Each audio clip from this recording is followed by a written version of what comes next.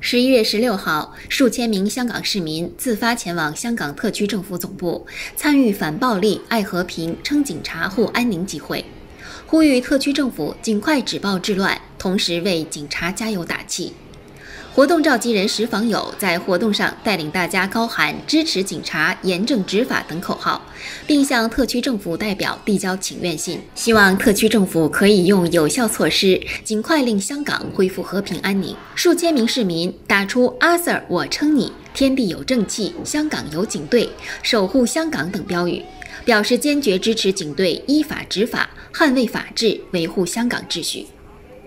游行期间，有警员在过街天桥处执勤，路过的市民纷纷向警员伸出大拇指，高呼支持警察，警察加油。更有市民上前和警察合影。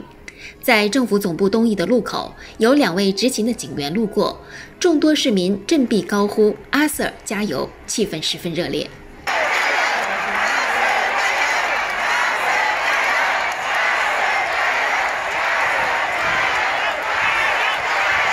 此前，香港的一位七十岁清洁工阿伯被暴徒投掷砖块击中头部，随后伤重不治。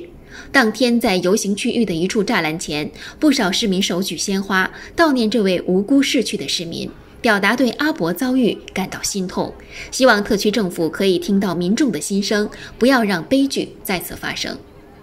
活动持续近一小时，现场呐喊声此起彼伏，市民情绪高涨。参与活动的市民还进行了实名签名，表达对止暴制乱的坚定支持。活动结束后，市民还派代表前往警队送上心意卡及物资等，慰问支持前线警察，为警队加油打气。